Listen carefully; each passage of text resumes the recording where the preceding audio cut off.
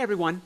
Uh, this is uh, Tim Fox here, and I'm going to be talking to you about uh, our first section, which is about Introduction to Machine Learning.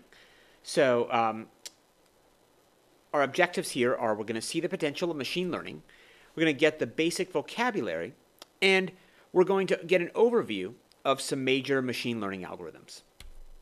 Okay, so machine learning.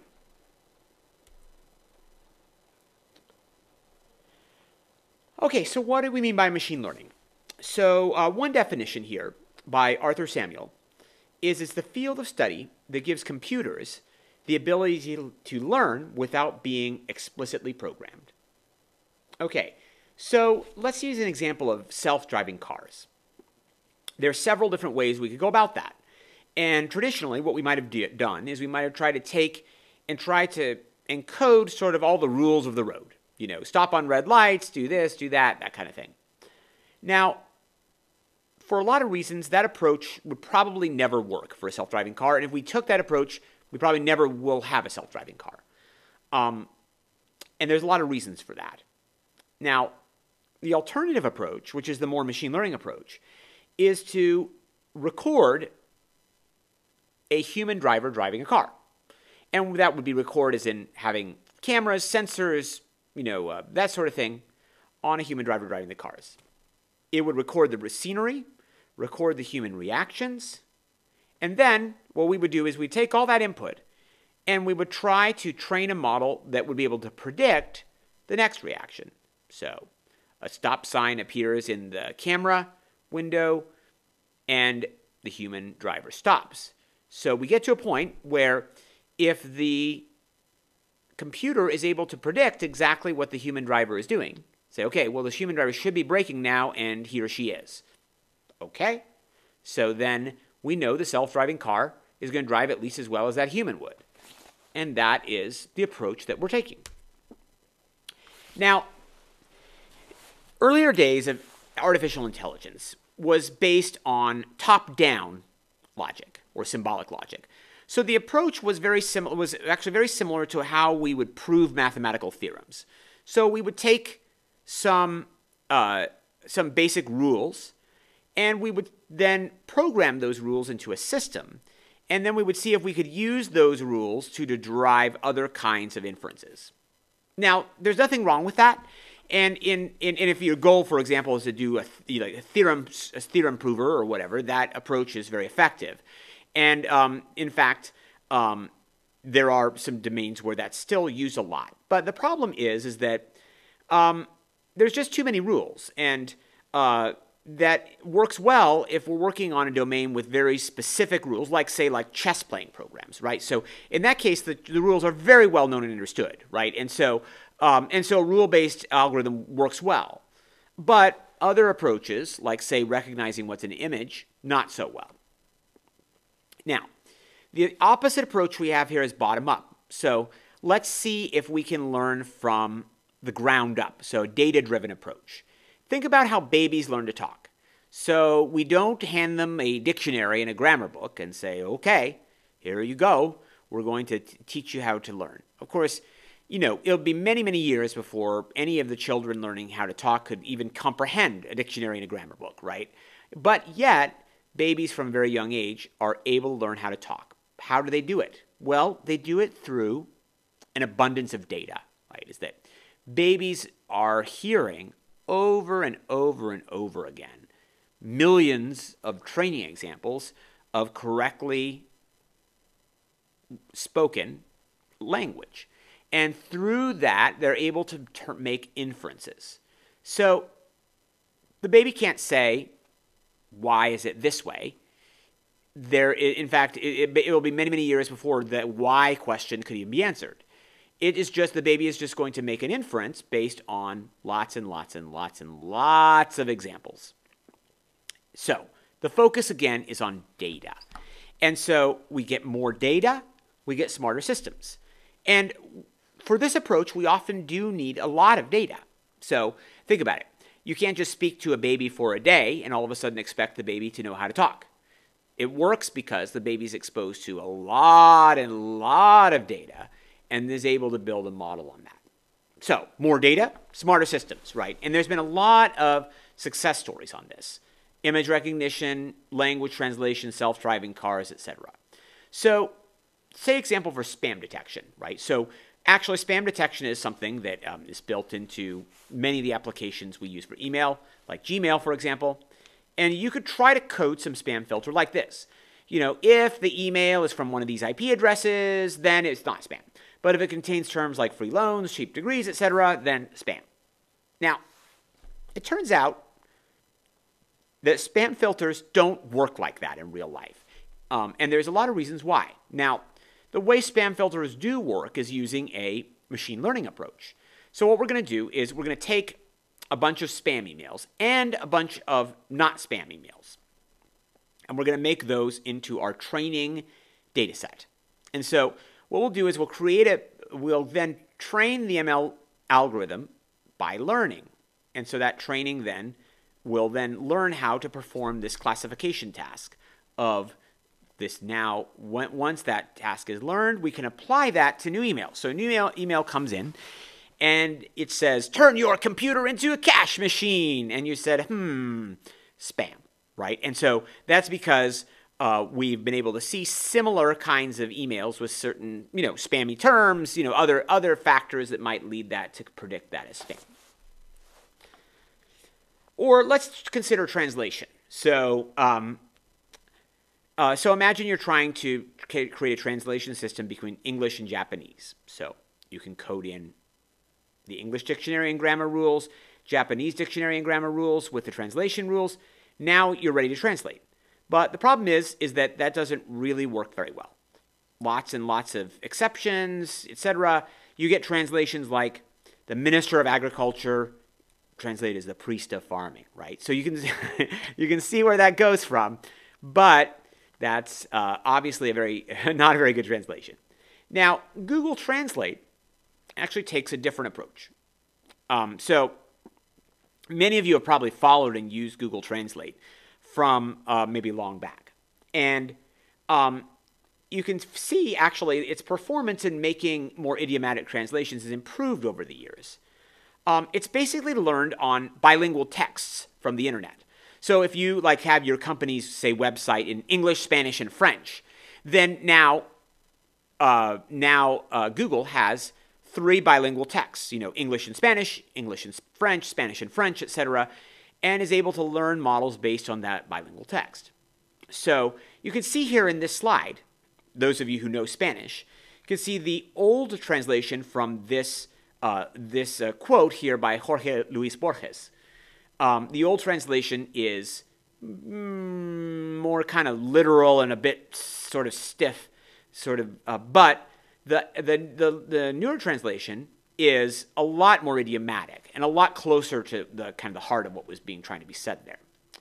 So, and you can see how that goes. And you can also witness that Google Translate actually works best for translations in which there's a lot of data to be had. So, like, for example, English and Spanish, English and French would certainly be in that category.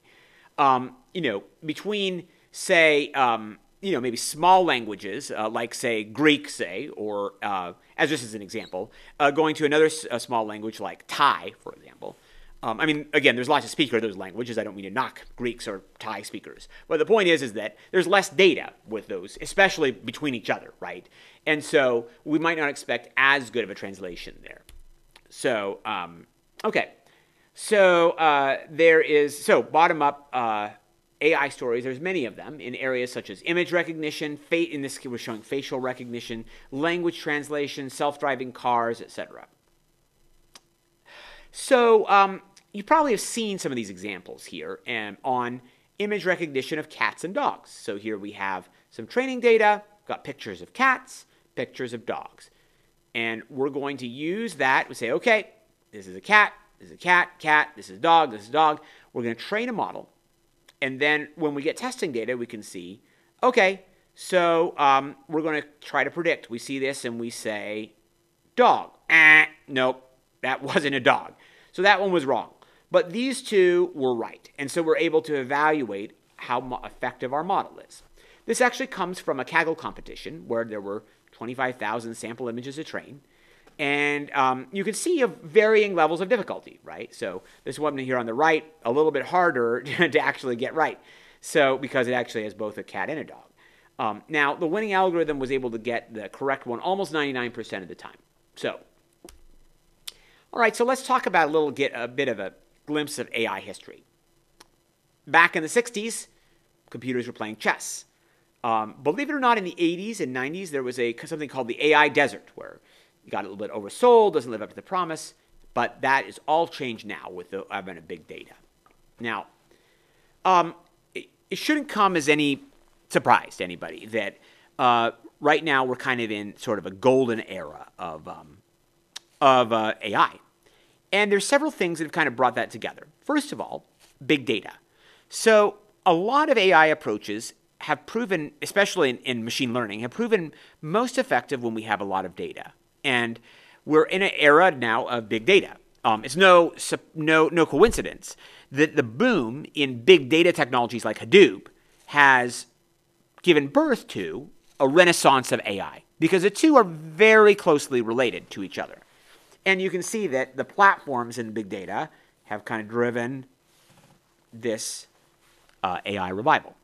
Now, in addition to big data, though, AI in, it can be very computationally intensive. And one of the reasons why earlier eras of AI weren't as effective is we just didn't have the horses at that time in terms of compute. Now, cloud platforms have given us ability to get massive compute power. So, of course, nowadays, a few bucks will buy you plenty of horsepower on any of the cloud platforms, including AWS, as mentioned here in the slide. So, uh, and we can get this on demand. Let's say I have a workload where I need thousands of nodes.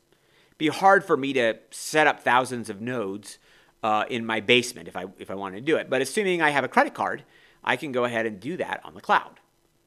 Another thing is advancement in hardware, particularly in the area of GPUs. Now, CPUs in recent times have had multiple cores. I mean, even the most, you know, kind of cheaper level CPUs these days have at least two cores. And the, uh, this is, you know, expanding. But typically when we talk about cores, you know, we're talking about maybe four cores, eight cores, 16 cores, perhaps. Now, a GPU is thousands of cores. And so, but those cores, of course, are different than CPU cores, more specialized to certain kinds of operations. Um, luckily, though, GPU cores, which are originally, of course, designed for graphics, are also good at the same kind of math, matrix, linear algebra type of operations that we're going to need to do in most types of AI. So, and it's able to do that with thousands of parallel operations, which is great for a lot of the AI stuff that we want to do. So, now, not to be outdone, modern CPUs have improved their linear algebra performance tremendously. Um, and so uh, you can see here that um, Intel has made more uh, recent server level C CPUs here, which are considerably faster in terms of training performance. Um, and in fact, in some cases, are competitive with a GPU. So um, so both CPUs and GPUs are uh, designed now more and more to be able to accommodate very heavy duty AI based linear algebra workloads. Now, um, this is taking a little bit of a cue from Bitcoin miners, who most of whom long ago shifted from GPUs to custom silicon for design for the task. In AI, we're seeing something similar, where uh, we have customized silicon which is designed to be even faster than its GPU by being specifically designed for machine learning tasks. One example of that is Google's TPU. Um, TPU is um, designed by Google to be specifically for running AI workloads and especially for TensorFlow, which we're going to look at um, in a couple weeks. Um, so TPU is available in Google Cloud Platform. As a matter of fact, um, we're going to be looking at uh, using TPUs on some of our lab uh, applications. So we can go ahead and take a look at that. Here's a picture of Google's TPUs data centers. Currently, you can only use TPUs on Google's um, in Google's data centers for if you're not a Google employee, then mostly that involves with either a Google Cloud Platform or with some of Google's publicly available services, including Colaboratory, which is one thing we're going to look at in some of our labs. Okay. So let's talk about some machine learning use cases. How can ML help a business? So there's a lot of ways, but let's kind of start from the beginning here. Think about, let's say that you're a company and you're maybe in finance, so you have um, a credit card application. So, so you for many years your company has been reviewing credit card applications, and what happens is is some customer fills out a form, and that form then gets sent to an analyst or a group of analysts, and these analysts spend all day looking at people's applications. So then the analysts then have to get the, the information like the credit score, you, you know, all the kind of things on the credit score, uh, all that stuff. Then they're going to say, okay, approved or rejected. Now, let's say that you and a company have a very popular credit card, have a great deal of success. So good for you.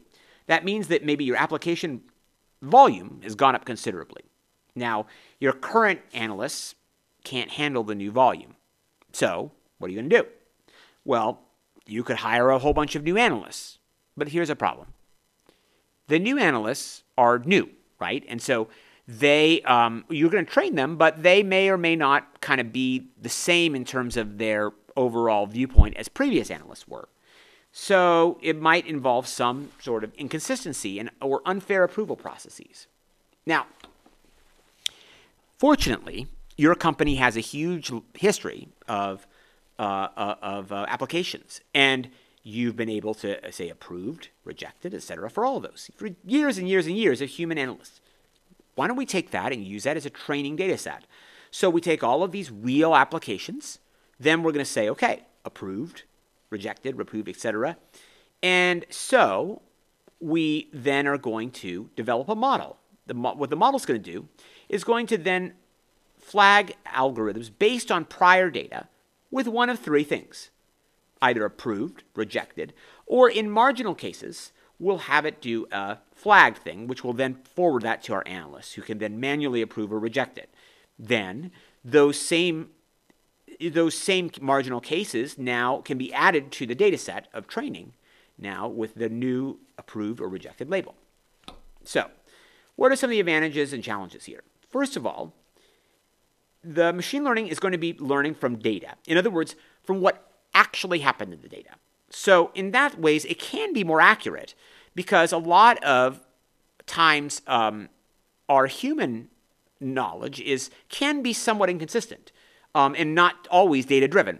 People make decisions all the time that aren't driven from data at all, right? And so, uh, so that can be more accurate. It can also be automated. So once we do that, deploy this machine learning in, in production, the actual amount of time it takes to do that would be very little milliseconds, right? And so it can be completely automated, um, and uh, you know uh, it can. That means the customer can immediately get approved or, or not approved, um, customizable and scalable. So we can scale for large amounts of data.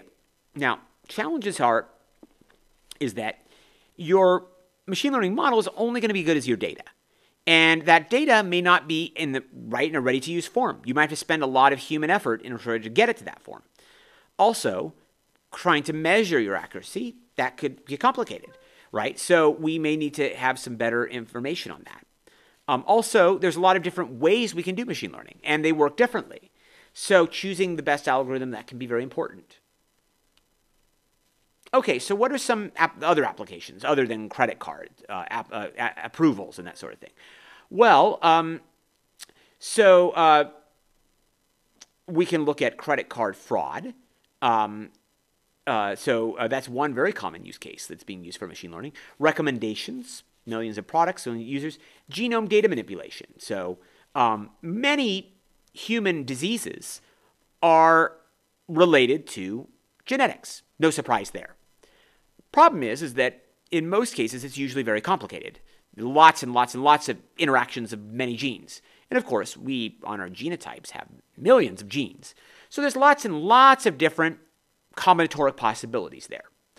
Um, however, we can use machine learning to try to help determine associations between genes, and disease. And in fact, this is a, a very common area where machine learning is being currently being used in, in, in terms of research science.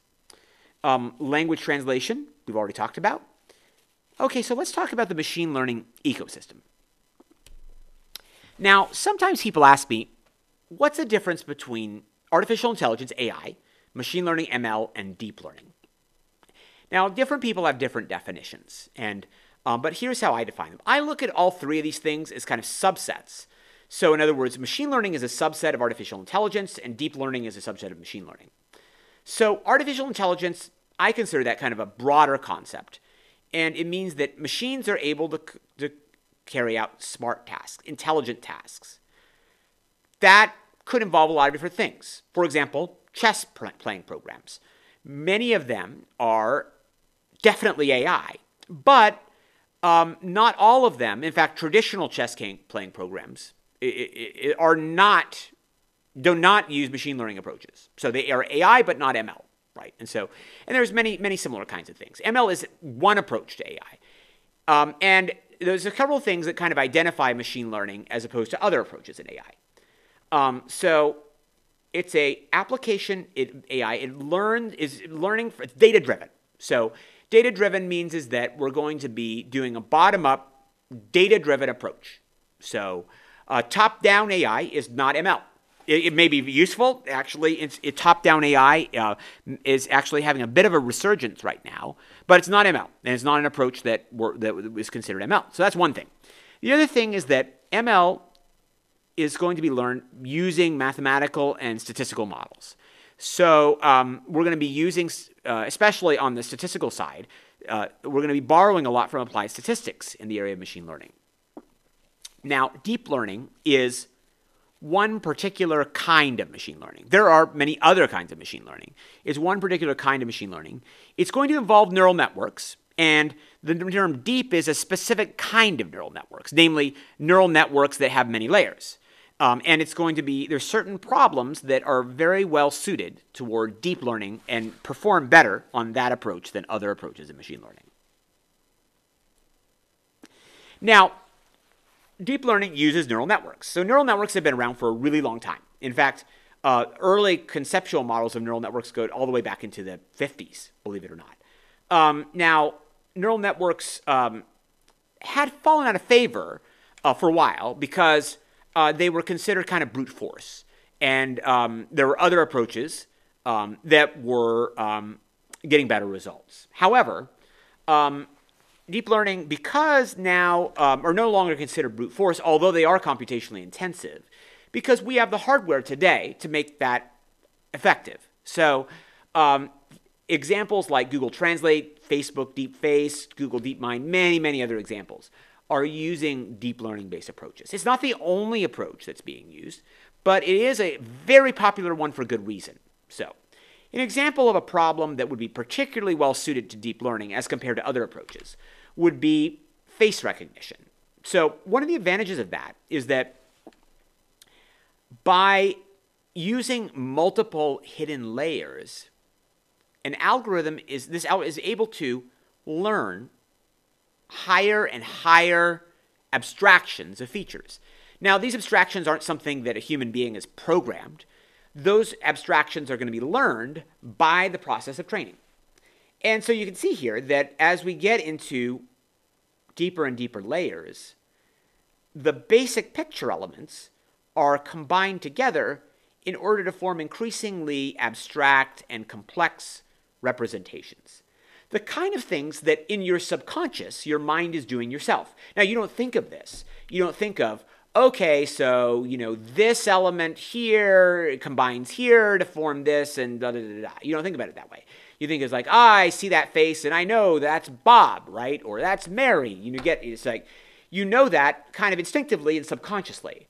But it's because your brain has been able to make a mapping that's very high level of the lower level elements. And it's done that undoubtedly through the same way, through a cascading series of layers in your brain's neural representation of the data.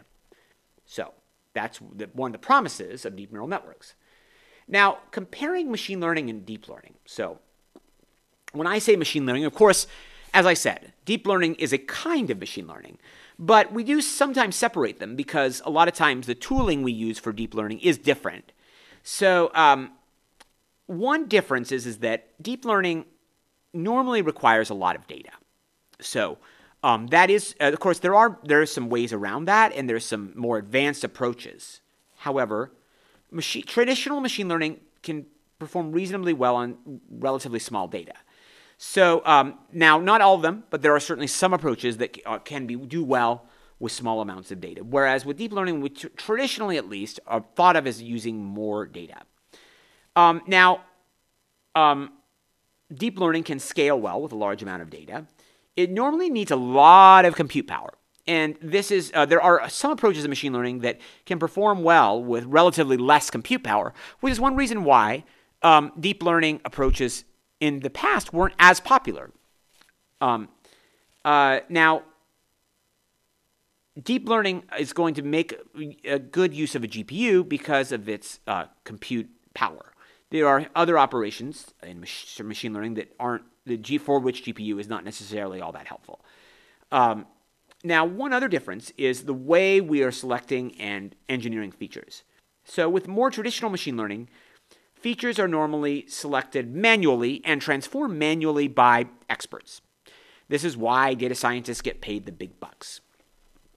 Now, deep learning, in theory, can help learn some of those representations itself automatically, which is great. Um, however, that process could take longer, days, whereas you know execution time for traditional machine learning can often be much faster.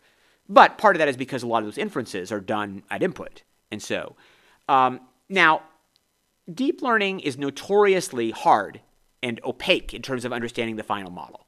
Once you get a deep learning model, it's almost it's very difficult to really try to make any sense of it because it's it's not it's uh, it, it, it consists of millions and millions of different values of weights and biases. Um, and if somebody asks, well, why did the model say this versus this? Like, for example, why did the model give a person this credit score? Well, that might be hard to answer that question with a deep learning model. However, with some kinds of traditional machine learning models, for example, especially things like decision trees, that answer can be very easily generated. Say, well, the person has this credit score because blah, blah, blah, blah, blah. Right? And so um, now uh, comparing performance in and data, well, as we can see with less data, more traditional approaches of machine learning can actually perform better. But in fact, as we were in the era of the 80s and 90s, other approaches generally performed better overall given the scale that we had at the time data size, model size, everything. But as time has marched on, more compute, which allows us to be more math, more data, more everything, boom, neural networks have been more effective. Now, looking at the ecosystem of software, there are different approaches. Now, you can see here, different languages, Java, Python, R, etc., are used in this class, we're focused mostly on Python. So we're going to be looking at scikit-learn here for traditional machine learning. And they're going to be starting with that this week and next week. Uh, for deep learning, of course, you can see that there are a number of, uh, of deep learning libraries used. Namely, TensorFlow is one of the things we'll be looking at in this class, but there's many others, right? Now, as I said before, typically traditional machine learning libraries like scikit-learn are not deep learning libraries, and they don't really try to do that, right? They're somewhat separate, you know. So, um, so uh, although there is some overlap, they're mostly separate here. You can see. Now, as you can see here, there are some libraries that are mainly designed for distributed uh, machine learning and deep learning, um, and libraries like H2O and Spark are well known in the big data space. And so, big data, of course, is all about distributed operation, and that's one example of how we're doing that um, here. Now, the cloud vendors are another thing to mention because uh, Amazon, Microsoft, Google, they're kind of our three big names in the area of uh, cloud. And um, they also realize the importance of artificial intelligence to the overall capability of their cloud platforms. And so they develop a lot of efforts to ensure that people will use their cloud platforms and so offer a lot of functionality that may not be available outside that cloud. So now in data science, the two main languages that tend to be used in modern era are R and Python languages, um, both of which have a very large number of libraries around the areas of analytics, um, statistics, mathematics, science, machine learning, all of those things. And they have a lot of popularity. Now, one traditionally, a lot of the data science work in both languages was not really designed to be parallelized. It was mainly designed to fit on a single machine. Um, now, there are a whole other set of frameworks which are designed to take that to a cluster, right? And so, um, big data tools are going to allow us to be able to run those algorithms at massive scale across a cluster. Now, traditional ML is a lot of times over on a single node and is really usually the model that is there is usually designed around an analyst who's working on a workstation um, and they're going to load pretty much most or all the data in memory and they're going to be doing that operation there largely on a cpu now um, on big data that model is we're going to we're going to realize that that model isn't scalable so we're going to be changing the way we're going to operate we're going to be going on single pass computes that are stateless, and we're going to be using GPUs more often, and we're going to be distributed across many multiple machines. Obviously, you can see the direction that we're moving in this era, right? So, now there are some specific tools that are designed specifically for scalable machine learning, and a lot of these overlap with kind of the big data ecosystem. So, things there's frameworks like Spark, for example, uh, which is very popular in terms of doing big data processing um, that is has a machine learning component called Spark ML Lib and is, is there. Now, the cloud vendors like Amazon Machine Learning, and the same thing is true of Azure and Google GCP, all of them have scalable kind of uh, cluster based ML that you can run on their clouds. Um, H2O is another library which is somewhat like Spark. In fact, it can integrate with Spark, but it has its own AI oriented uh, functionality that um, is also part of the big data ecosystem. Now, uh, we're going to be looking, of course, at uh, TensorFlow here, uh, starting with week number three. And it is uh, also designed for scalable deep learning. Now, remember, we said most libraries do either mach- traditional machine learning or deep learning, and um, TensorFlow um, fits mostly in the latter category, deep learning. Uh, now, Spark ML that I talked about before is designed more for traditional machine learning. But uh, there is an add-on library uh, called uh, BigDL, which is by Intel, that brings deep learning capabilities to Apache Spark. So, um, okay, so we're going to now talk about machine learning algorithms. Now, there's a lot of different approaches to machine learning, and what we're going to talk about in this class really just scratches the surface of that. Um, so there's basically there's several different categories that we have of machine learning and there are also some more advanced ones that goes beyond this. But that is um, supervised machine learning, unsupervised machine learning, and recommendations, which has some aspects of both supervised and unsupervised learning. So um, now, within the category of supervised learning, we have several different ways and approaches of doing that. Uh, namely, we can do regressions and classifications, both of which are a type of supervised prediction. Regression means is that you're going to try to predict some real number output. So, for example, like a house price or a stock price or other things like that. Right? So those are all examples of regression problems. Um, and there's a lot of different ways we can do that. We're going to look um, this week at one such way, linear regression, but there are many others. Classification is a very similar problem, but instead of trying to predict some kind of real number output like a stock price, instead we're going to try to predict um, a category. Is this cancer or not? Or what kind of cancer is it, say? Or is this a spam email or not a spam email? And there's a whole bunch of algorithms that can do that as well. Logistic regression being one that we'll briefly look at this week. A number of others we'll be looking at next week. Now, decision trees are a, are a type of uh, algorithm which oh, we'll also be looking at, I think mostly next week, um, it is, um, this is uh, uh, going to be, can be used for both classification and regression. Uh, and so there's a number of different types of, of approaches to that. Um, random forest, for example, as being one approach. So, okay. Now, that all comes into the category of supervised machine learning. And we'll talk a minute about exactly what that means. Um, unsupervised machine learning has a whole bunch of different problems. Uh, so, uh, clustering is an example, it's kind of the classic example of unsupervised machine learning.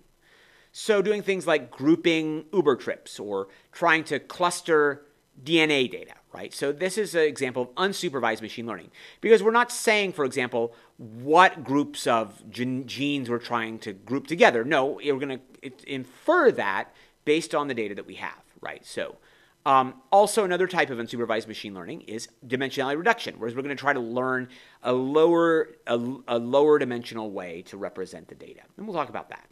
Other things like topic discovery, text mining, these things are un, of examples of unsupervised machine learning. And recommendations we'll talk about as well. Those are um, can be treated as either supervised or unsupervised, um, and sometimes involving a bit of both. Okay, so let's talk about how we do machine learning? Well, first of all, we have to get data. Now, typically, the more data we have, the better. And so that could come from things like log files like clickstreams, external sources, say like credit scores of customers. Well, then we have to prepare the data. Now, this is kind of an undersung part of machine learning because it's crucial to your success to how clean and ready to go your data is. It also involves a lot of grunt work, right? And there's no way around that. But data quality can be extremely important, even as maybe more so than data quantity, which is kind of what we just were talking about. Um, then we're going to train the model, feed that data to the model so it can learn. We'll evaluate our model's metrics, like accuracy, for example.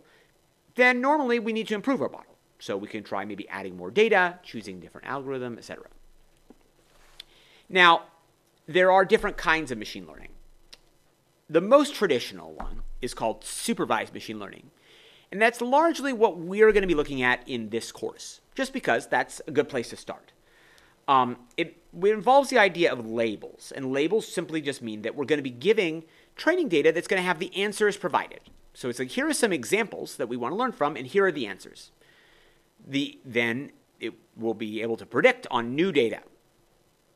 Um, Unsupervised machine learning doesn't have these labels.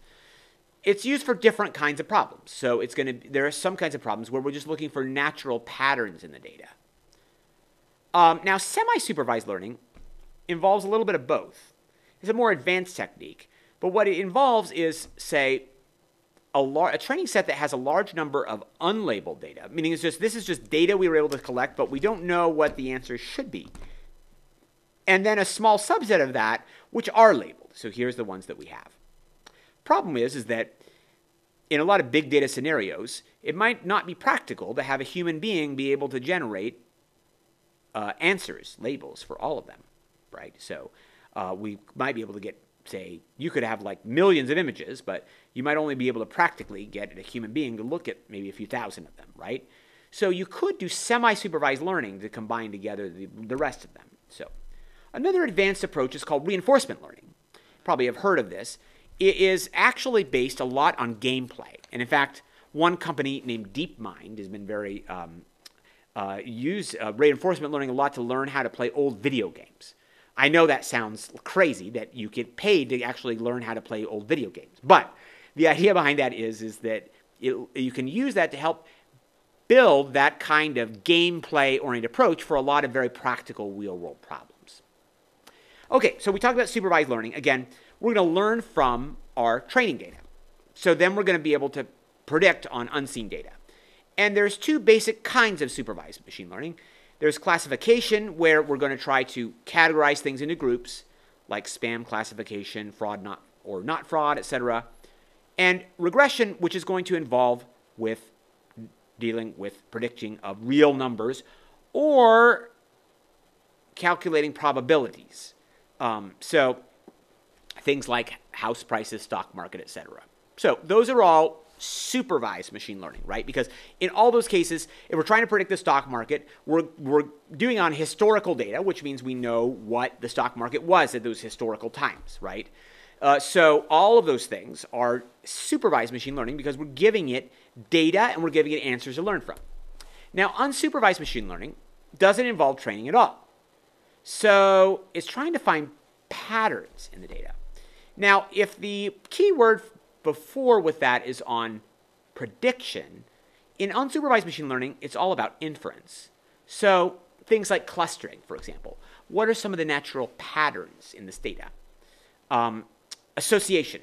People who bought this also bought this, right? So again, those are inferences that are learned from the data. We didn't have a human saying, okay, here's what I want you to, I want you to look at people that bought this and this, right? It's like, no, there's going to be those associations that are going to be inferred by a model that is looking at the data.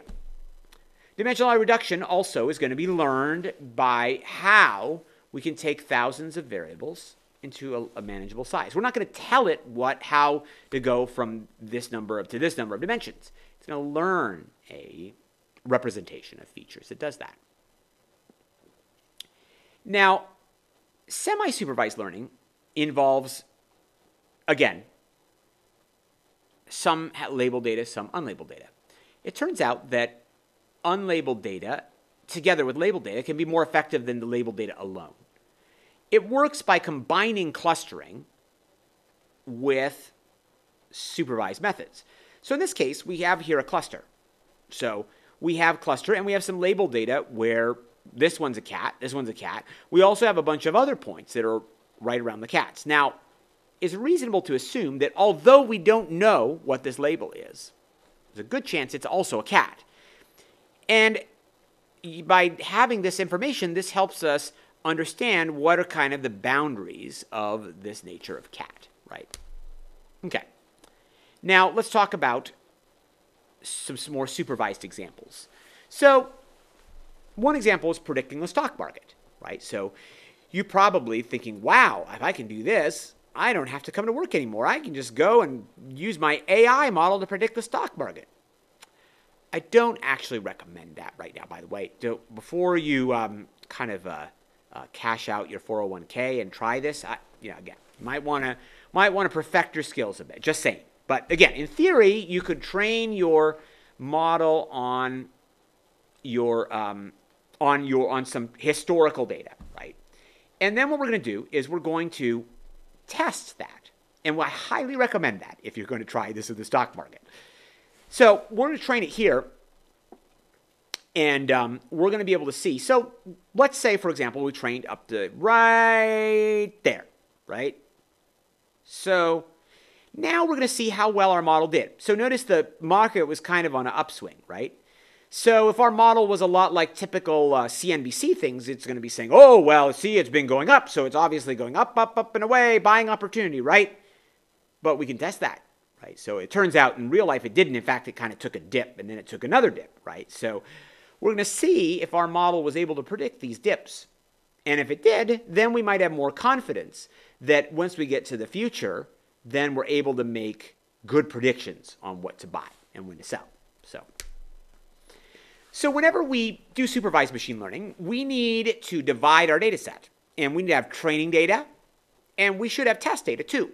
The test data is going to help us to evaluate that. Now, we're going to learn later about a mechanism for training called cross-validation which basically means we're going to test as we train. So um, we're going to have some data that we're going to use for cross-validation as well as some data for tests.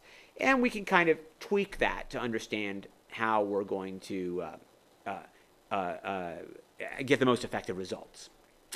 Now, classification, as we said before, is all about dividing your data into buckets. So, is email spam or not a ham? Is, this, is the cell cancerous or healthy? These are all classification problems, right? And so you can see we're getting mixed data and we're trying to classify it here and here. Is your email spam or not? Is your website authentic or fraudulent? Is this cell cancerous? et cetera, Etc., etc., etc. Many, many, many, many opportunities here for a classification problem. Okay, so all that was supervised machine learning. Now we're going to talk a little bit about unsupervised machine learning. So it's all about drawing inference from your data without having labels. Now, labels, remember, whenever you hear the word labels, you think supervised learning, or at least semi supervised. So, for unsupervised machine learning, there are no labels.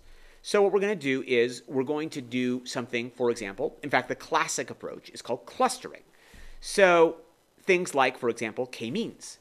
We're going to group our data points into a cluster. Another example would be hidden Markov models, in which what we're going to be doing is we're going to be inferring state transitions. We're going to be assuming that there's a state that we're going, and we're going to be inferring what that state is in our system. So, examples finding patterns, expressing genes, recovering the states from a series of trans transitions. Another example that's typically unsupervised is anomaly detect uh, detection.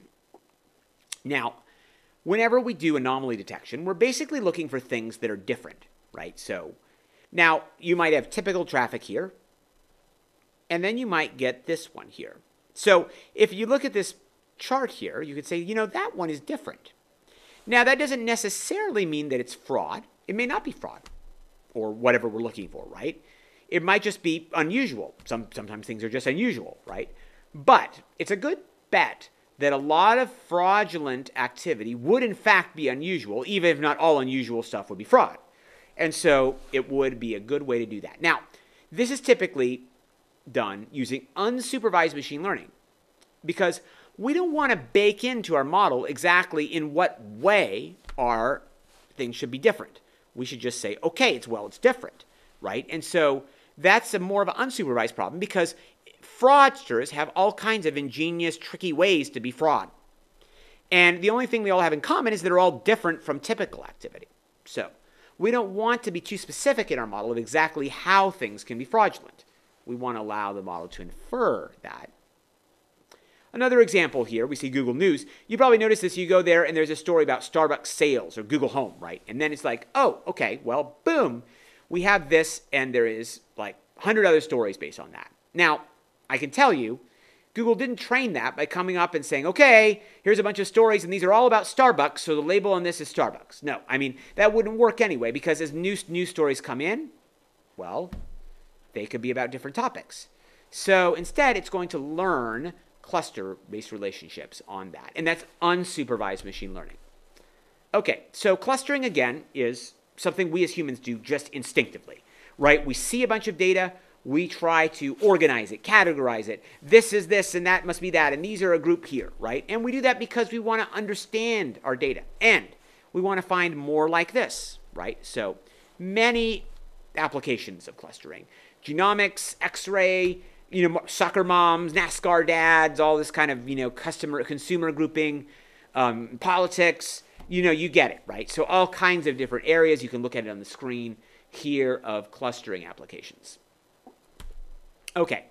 Now, other approaches here like reinforcement learning. Um, let's say, for example, you're learning to play a new video game and you don't know how to play. So, how are you going to learn? Well, you could read the instructions, right? Not many people read instructions for video games, right?